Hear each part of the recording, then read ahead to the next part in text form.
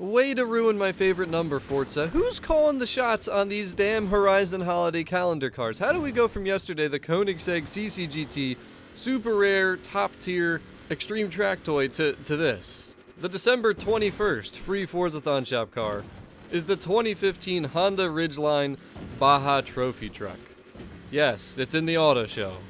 You, you couldn't believe it, right? Yep, don't worry, it is in the auto show. There you go, there's proof. 500,000 credits. At least it's somewhat expensive for most people. It's going to be available from 7 p.m. Eastern Standard Time on December 20th until 7 p.m. Eastern Standard Time on December 21st. Comes with a 3.5 liter V6, 550 horsepower. It is stock rear wheel drive. Honestly, for me, you just have to all wheel drive swap, race weight reduction, and just go have fun flipping around off roading again, just like that other car from the other day. You can auction it if you want to to make some easy credits. You can auction it for 92,000 when the base price at the auto show is 500,000. This car actually was available for a Series 13.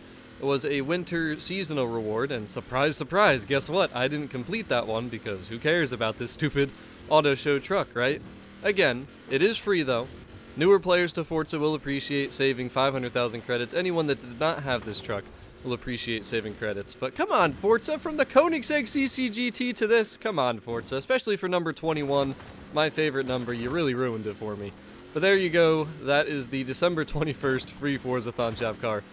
Really hope this makes everyone aware. Thank you for watching. Have a great night.